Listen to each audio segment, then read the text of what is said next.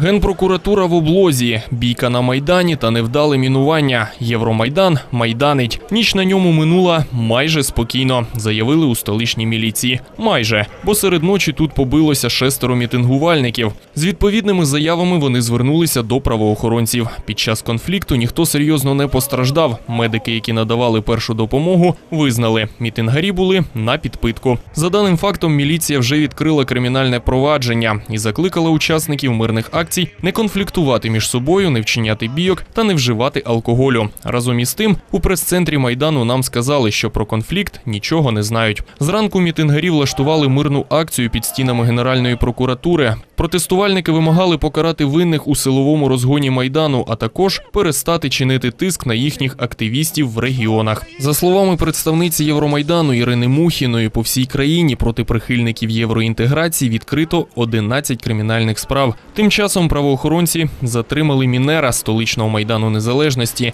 Напередодні до міліції подзвонив чоловік і сказав, що через тиждень головна площа Києва буде замінована, і кинув слухавку. Не минуло й половини доби, як псевдотерориста затримали у Тернополі. Ним виявився безробітний 23-річний мешканець Чернівецької області. Свій жарт пояснив просто перевіряв оперативність правоохоронців. Як пояснив затриманий, дане повідомлення він здійснив після перегляду аналогічних сюжетів про замінування в місті Києві.